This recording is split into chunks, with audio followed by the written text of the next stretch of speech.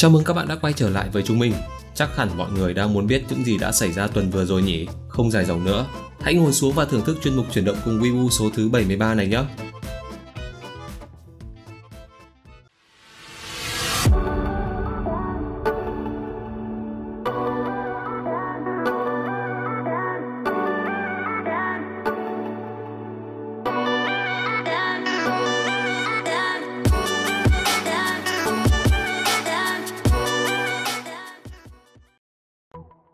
Tôi nghĩ các ông chả để ý đến cái tin này đâu, vì chúng ta đã quá quen với việc xem chùa rồi.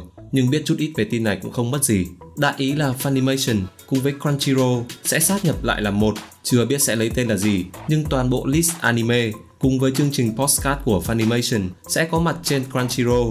Việc sáp nhập này sẽ mang lại một trải nghiệm hoàn hảo cho khán giả, hợp nhất các Weibo trên toàn cầu. Make Weibo great again. Tình hình Nga và UK, à quên, tình hình dịch bệnh căng thẳng, thằng nào mà mở mồm ra nói câu ai rồi cũng sẽ bị bệnh thì các ông cứ vả thẳng vào mồm nó cho tôi. Cứ giữ cái quan điểm đó mà không tự giác phòng ngừa thì nó sẽ dẫn đến hệ quả rất lớn, nhất là khi Tokyo, Osaka cùng 16 tỉnh của Nhật Bản đã phải kéo dài tình trạng khẩn cấp vì Covid-19. Và nếu tình hình này còn kéo dài thì dĩ nhiên các studio anime sẽ phải cắt giảm, thậm chí là hoãn các bộ anime như trong năm vừa qua. Tình trạng đấy lại sắp xảy ra khi mà số người lây nhiễm tăng một cách chóng mặt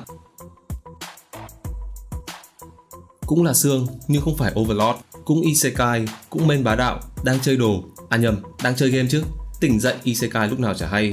Dạo này tên anime dài vãi cả, nên mình xin phép được đọc tựa tiếng Anh. Skeleton Knight in Another World sẽ được dự kiến công chiếu vào ngày 7 tháng 4 này.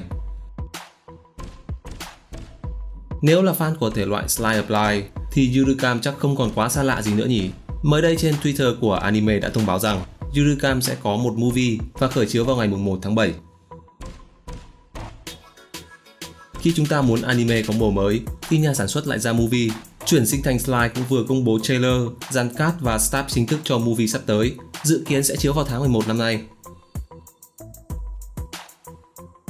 Tạp chí Yongham số thứ 13 năm nay của Suesa đã tiết lộ rằng Hiroshi Motomiya sẽ ra mắt một manga mới với tựa là Shin Good Job, tạm dịch là công việc tốt mới.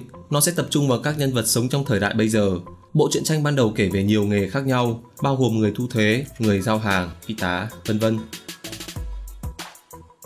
Một side story hoàn toàn mới chưa được công bố của thất nghiệp chuyển sinh vừa được đăng tải promo video. Ở tập thứ 16, chúng ta đã chứng kiến cảnh đoàn tụ của Rudius và bố của mình. Nhưng Eris và một nhân vật tôi chẳng biết cách phát âm như thế nào, đang làm gì trong khoảng thời gian đó. Tất cả sẽ có trong side story sắp được chiếu này. Jay Kim, người sáng lập tập đoàn Nexon, đã qua đời ở tuổi 54 do căn bệnh trầm cảm. Thông tin được Nexon công bố vào thứ ba vừa qua với các tựa game mang phong cách đồ họa chibi, anime, phải kể đến như là Maple Story, Sino Alice. Không chỉ một mà còn hai movie live action cho các bạn tha hồ chửi. Đùa đấy, dù live action vẫn được coi như là kẻ thù đối với fan của anime và manga, cũng giống như là mấy ông thích xem lồng tiếng ấy. Emotional damage Nhưng nhìn qua poster thì không thể đánh giá cả bộ phim được Hãy cho chúng mình biết ý kiến của các bạn về live action phía dưới nhé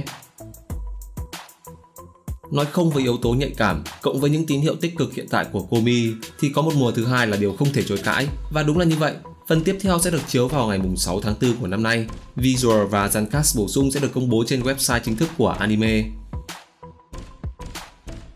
Wise Fox đã đưa ra lời xin lỗi trên tài khoản Twitter của mình vì bị cáo buộc cho hành động tuyển dụng phân biệt giới tính. Cụ thể là họ đã đăng tin tuyển dụng vị trí trợ lý sản xuất với yêu cầu đó phải là một người phụ nữ dưới 26 tuổi.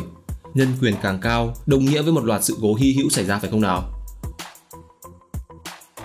Và thông tin trên đã kết thúc chuyên mục chuyển động cùng Weibo rồi.